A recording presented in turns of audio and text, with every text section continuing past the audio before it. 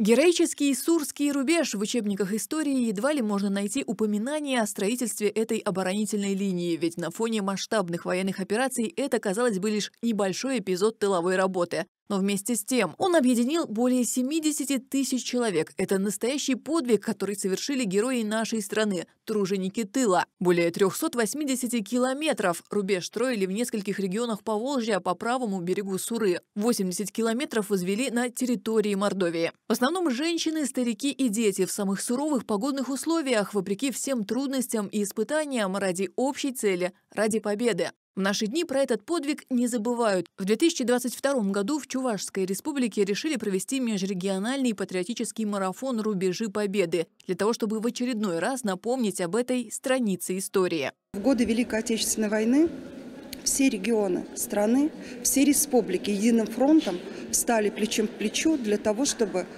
добиться этой великой победы. Мы всегда были вместе, мы всегда были едины, и у нас были всегда одни и те же задачи у регионов и республик Великой России.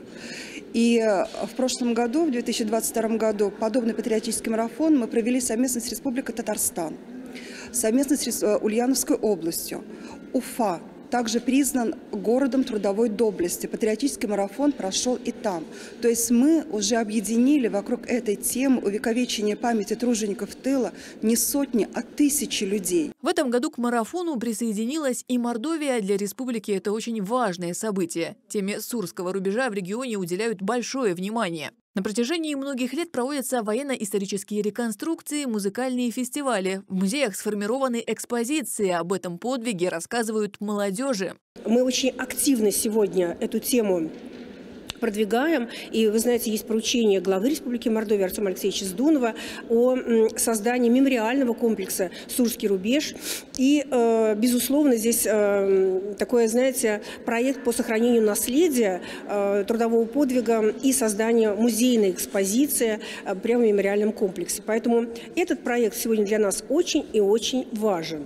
Марафон стартовал с межрегиональной научно-практической конференции «Подвиг во имя Победы». Его участники – архивисты, ученые и исследователи из всех регионов, которых строили Сурский рубеж. Кто-то приехал лично, кто-то подключился к работе в режиме видеоконференции. Все доклады были посвящены людям, творцам Победы, их трудовому подвигу. Сразу начало войны все наши фабрики, заводы, конечно, перестроились на, конечно же, на военную промышленность.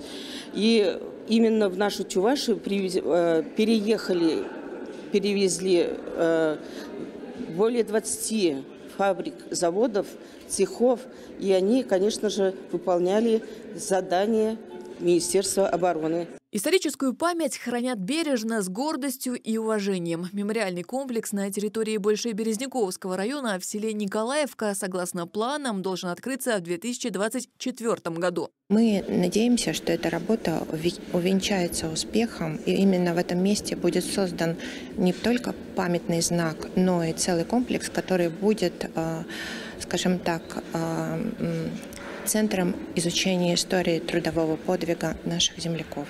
Торжественное открытие марафона «Рубежи Победы» состоялось в музыкальном театре имени Яушева. Там же была представлена опера Чувашского государственного театра оперы и балета «Сурский рубеж». Отмечу, что в этом году патриотический марафон пройдет также в Нижегородской области и в республике Марий-Эл. Юлия Мамаева, Станислав Семин. Народные новости.